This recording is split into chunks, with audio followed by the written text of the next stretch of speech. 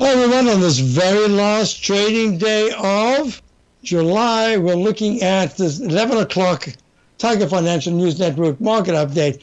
Dow's up 100 at 32,632. This is leg D in the chart wave methodology. That was our objective and that's what we're always looking for at least four higher peaks peak A, peak B, peak C, and peak D. We haven't made a peak D, we're in leg D. That could happen Monday or Tuesday. We're looking at the S&P in leg C, so it should still make a peak C and then a leg D.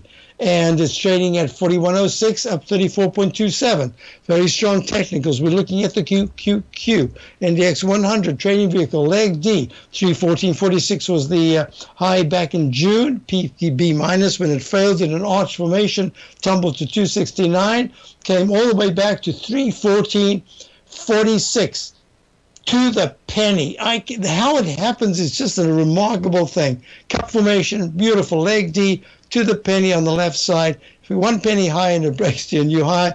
Lovely weekly chart, improving, I should say, weekly chart. IWM, Russell 2000 is trading at the doji candle up 49 cents at 186.44. Also leg D underneath the previous D. We're looking at gold. Now, gold's at a really strong move to the upside. I'm going to be talking about it in the next hour. Let me just double check. I believe uh, Larry still has problem with his uh, voice and uh, I've actually set the time aside, and I've got a plan for that to go through the commodities and the currencies and a number of other things that are very important. The type of thing that Larry will be looking at. Gold is right now up 11 at 1780. This is good action, and considering that the dollar um, is up 22 ticks at 106.42. Gold is finally showing independent strength. That's what I've been waiting for for a long time. And you're looking at the TLT and we'll be looking at bonds when I return to do the next hour.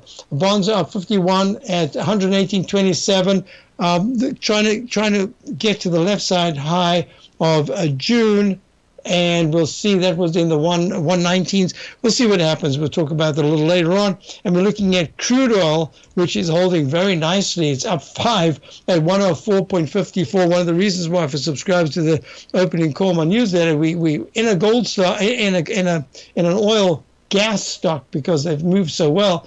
And so far, this is starting to break out with an almost almost inverse cup and uh, head uh, head head and shoulders pattern. I'll talk about it more when I return to do the next hour. It's Larry Pesavento's hour, trade what you see, but I'll be doing my work in that hour.